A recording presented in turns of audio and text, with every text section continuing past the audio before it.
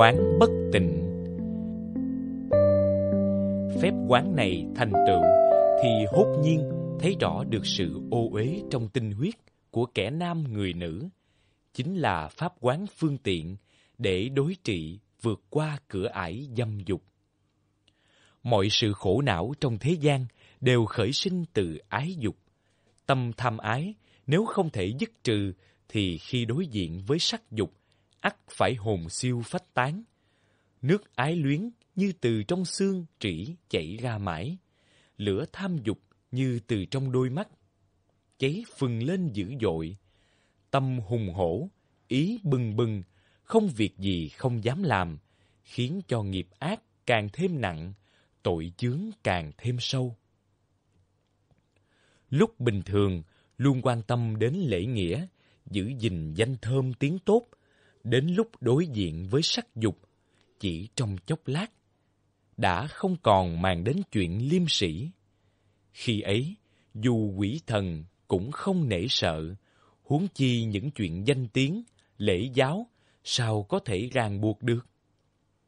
Mênh mang trong cõi đời ô trượt, tù ngục giam cầm ngày một nhiều hơn. Những lời răng dạy ân cần thương xót của các bậc thánh hiền chỉ sợ rằng không còn chút tác dụng nào.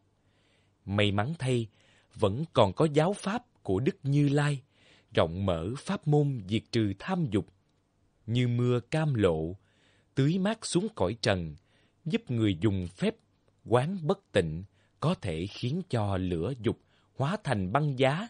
Khi ấy, dù có tiên nữ giáng trần, cũng chỉ xem như kẻ ăn mày cùi hủi gớm ghiếc. Huống chi là những phụ nữ phàm tục chốn thế gian, vốn chỉ là một cái túi da bọc xương thịt. Không cần phải luận bàn về nhân quả, cũng không cần đặt ra hình luật nghiêm khắc. Chỉ quán chiếu, thấy hết được những điều ô uế nhơ nhớp, thì con ma dâm dục sẽ không còn dám đấu tranh cùng ta nữa. Phép quán này được thành tựu sẽ nhổ bật tận gốc rễ dâm dục ái luyến. Tôi từ nhiều năm về trước vẫn thường bị ái dục khống chế, cũng tương tự như lòng dục của ma đăng già khi gặp A Nan. Mặc dù đã thử qua nhiều phương pháp để chế ngự tham dục, nhưng mỗi khi gặp hoàn cảnh cám dỗ thì lòng dục lại khởi lên như trước. Kể từ sau khi tu tập thực hành phép quán bất tịnh này, thì tâm niệm ái dục tự nhiên tan biến, lòng được nhẹ nhàng. Nay nhờ đó được đôi chút tỉnh ngộ, xin cung kính lễ bái đấng đại từ tôn, phát thệ nguyện trong đời vị lai sẽ trừ sạch hết quân ma, phân thân hóa hiện nơi vô số cõi thế giới để làm lợi ích cho tất cả chúng sinh. Tôi có vị thầy là tiên sinh Trương Băng Am, thường ân cần dạy dỗ răng nhắc, nhiều lần nói với tôi rằng việc tu tập phép quán bất tịnh này cũng giống như học nghề làm bếp. Khi học thành nghề rồi, lúc xẻ thịt trâu không nhìn thấy toàn thân con trâu nữa, mà chỉ thấy đó là những bộ phận riêng rẽ hợp thành.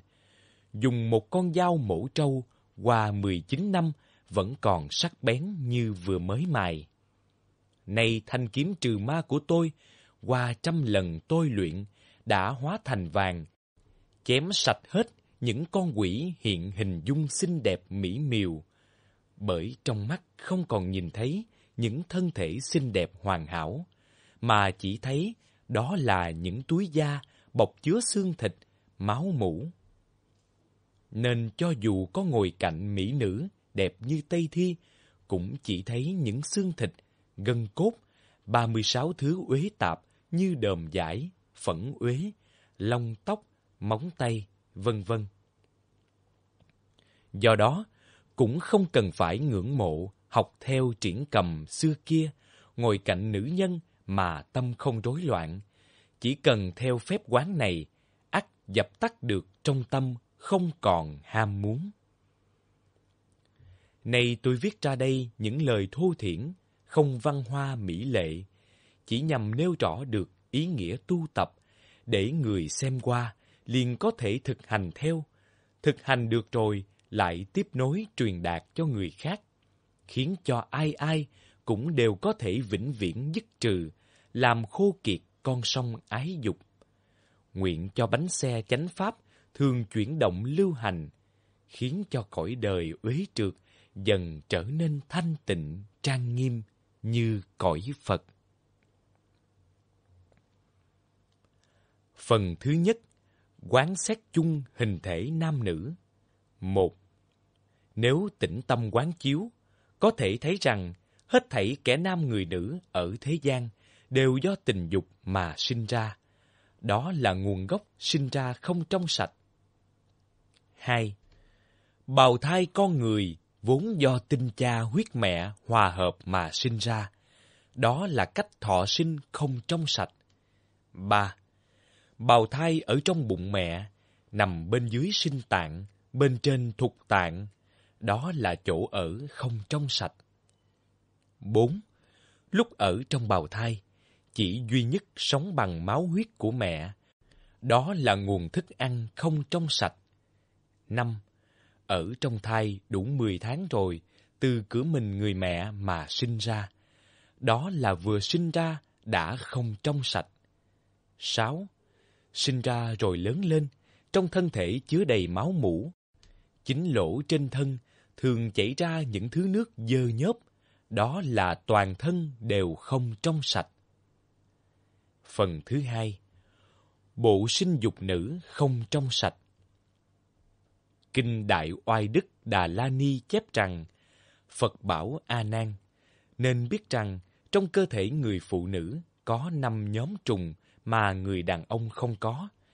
Năm nhóm trùng này cư trú trong âm đạo của phụ nữ. Mỗi nhóm có 80 loại. Cả hai đầu con trùng đều có miệng như kim nhọn, như dao sắc. Mỗi khi chúng ăn vào cơ thể, thì khiến cho người phụ nữ tinh thần bất an, bực dọc, lại tăng thêm ham muốn tình dục. Phần thứ ba Những ô uế trong bụng người phụ nữ. Kinh Thiền Bí Yếu nói rằng, nếu người tu tập thiền định mà lửa dục bùng phát, đêm ngày tơ tưởng chuyện dâm dục, phải biết đó là tình huống cực kỳ nguy cấp, phải gấp rút đối trị tâm tham dục ấy. Phương pháp đối trị là áp dụng việc quán xét tử cung của người nữ. Tử cung nằm phía dưới sinh tạng, Phía trên thục tạng có 99 lớp màng cực mỏng như bào thai con lợn chết. Bên trong lại chứa đầy chất nước hôi hám, có hình như ruột ngựa. Phía trên cong tròn, phía dưới hơi nhọn lại như hình quả lê, gắn vào âm đạo. Bên trong có đến 1.900 nếp nhỏ li ti, giống như những đường chỉ nhỏ trên tàu lá chuối. Có 8 vạn nhóm trùng vây quanh. Mỗi khi người phụ nữ uống nước vào, phân tán ra khắp 404 đường mạch. Các nhóm trùng này được ăn vào liền nôn ra chất mũ hôi hám, có màu như máu. Lại có giống trùng cực nhỏ, thường thích thú dạo chơi bên trong tử cung, sinh sản tích tụ trong một tháng thì không còn đủ chỗ dung chứa, nên mới có chu kỳ kinh nguyệt để thải chúng ra. Phần thứ tư Những ô uế trong thân người đàn ông Trong sách trên cũng có đoạn nói rằng toàn thân người đàn ông có 404 đường mạch liên quan đến sự dâm dục. Tất cả đều xuất phát từ mắt, rồi phân tán xuống ruột, cho đến vị trí phía dưới sinh tạng, phía trên thục tạng, cùng với các mạch của phổi, tỳ, thận nằm ở hai bên thảy đều chứa đầy chất mũ màu xanh như tinh dịch của loài heo rừng, hôi thối không thể đến gần. Các đường mạch ấy chạy xuống đến chỗ dương vật thì chia làm ba nhánh như đường gân trên tàu lá chuối. Cộng cả thảy có 1.200 đường mạch nhỏ. Trong mỗi một đường mạch ấy đều sinh ra những phong trùng nhỏ li ti, hình dạng như sợi lông. Bên trong những phong trùng li ti này lại sinh ra các cân sắc trùng, số lượng nhiều đến 78.000, vây quanh thành vòng tròn. Khi mắt người nam vừa nhìn thấy hình sắc gợi dục, tâm tham dục liền khởi lên. Tâm dục vừa khởi lên, 404 đường mạch nói trên đều nhất thời bị khích động. 80 nhóm trùng đều đồng thời há miệng, chảy nước mắt ra. Nước mắt của chúng màu xanh trắng, hóa thành tinh dịch theo nam căn mà tiết ra ngoài. Phần thứ năm Sức mạnh của phép quán bất tịnh Đức Phật bảo Ngài xá lợi Phất Nếu như có người trong bốn chúng đệ tử Phật mặc áo hổ thẹn, uống thuốc hổ thẹn, cầu được giải thoát, thì nên theo học pháp môn quán bất tịnh này, cũng như được uống vào chất nước cam lộ màu nhiệm. Trước hết, hãy quán tưởng rằng hết thảy các loài trùng sống ở vùng phía trước tử cung, cho đến bên trong âm hộ người nữ, cũng như trong khắp thân thể người nam, trong lúc giao hợp đều há miệng, vẫn tai, trợn mắt nôn ra chất mũ tanh hôi. Trong lúc quán tưởng, luôn giữ hơi thở điều hòa an tĩnh, tỉnh giác theo dõi hơi thở ra vào, chú tâm quán chiếu, mỗi mỗi hình ảnh đều rõ rệt, sáng tỏ như nhìn vào những đường chỉ trong lòng bàn tay. Cho đến lúc dù nhắm mắt hay mở mắt cũng đều có thể nhìn thấy rõ ràng tất cả thì xem như phép quán này được thành tựu, lửa dục tự nhiên dứt hẳn. Khi ấy, cho dù có chư thiên, tiên nữ hiện ra trước mắt, cũng chỉ nhìn thấy như người cùi hủi. Đối với thân thể của chính mình hay của người khác, cho đến của tất cả chúng sinh trong khắp cõi dục giới này, cũng đều quán thấy như vậy. Nếu người nào đã uống được loại thuốc quán tưởng này, đó chính là bậc đại trượng phu, là thầy dạy khắp hai cõi trời người, không còn bị dòng sông ân ái cuốn trôi phiêu dạt.